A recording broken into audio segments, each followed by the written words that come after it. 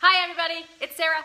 Um, I want to talk to you today about. I'm listening to The Slight Edge again. I've listened to it about 100 million times by Jeff Olson. He's amazing, and he teaches us or reminds us that every single thing we do in life is just a decision, just a choice. And every little choice that we make can change the complete path of our entire life. So make conscious choices. It's easier, it's easy to just say. But what I want to challenge you all today to do is actually do it. Make conscious choices. Hi, Angela, good to see you. Every single time you do anything. For me, it's um, food choices. Food choices. All you have to do is make a conscious decision every time you choose food. Hi, Mary Rose, good to see you. Every single time. Hi, Denise. I'm excited that you popped on. But making a conscious choice. In this day and age, we eat out more than any other generation ever, ever has. We eat out all the time. It's quicker. We don't have time to come home and make all the meals that um, all of our other ancestors did. So here's the deal. You have to make a conscious choice when you eat out this much. This is what I tell my kids. Like, I don't say you can't have french fries every single time, but make a conscious choice. What if we accidentally ate out five nights that week and you feel like just because you're eating out, you should be able to get french fries? No, it's not true. Make a conscious choice every time you choose food. Uh, when I go out to eat, I or usually order stuff that's not even on the menu. I just say, could I get a grilled chicken or a grilled fish with some steamed vegetables with no butter? I ask for it, and I'll, I don't think I've ever had anyone turn me down. Doesn't matter if it's not on the menu.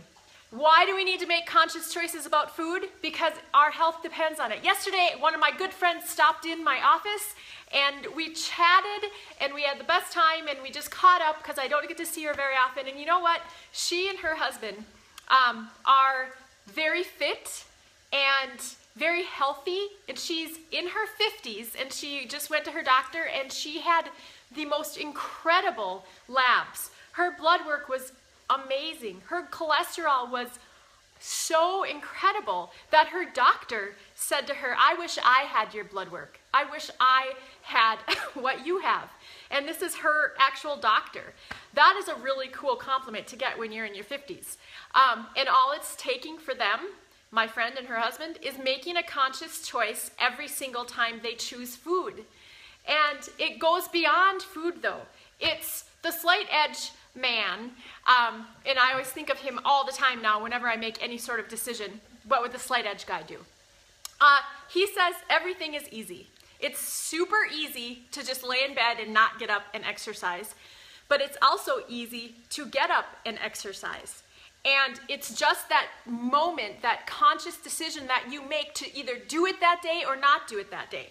And is getting up in the morning and working out and eating good going to make you lose 50 pounds by tomorrow? Absolutely not. That is not the way it works. The way success happens is small, consistent steps every single day. That's how you're gonna see results. I have people in my challenge groups, and if they only lost three pounds in a week, I praise that. I'm like, can you imagine? Multiply that times 52 weeks. Of course, they're not to lose that much weight because it would be unhealthy.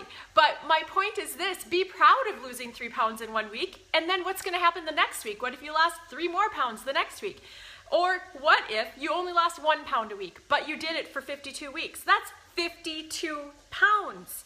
Guys, we have to give up on the notion that we get instant everything. This generation is packed filled with people who think if it doesn't happen right now, then it's never going to happen.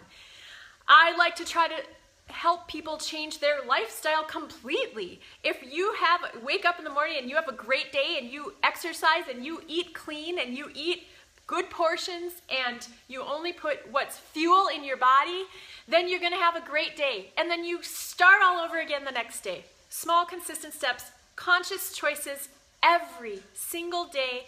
Of course, we're going to mess up, but don't beat yourself up about it. We all make mistakes. but what about if you imagine what you're going to be like a year from now? If you decided right now, draw that line in the sand and say, as of this day and this moment right now, I'm going to make smart, smart, conscious choices about what I eat and how I live my life in all ways. listen to people and lift people higher and compliment everyone. So I challenge you today to start making conscious choices because we are going into the winter season. We I live in Minnesota.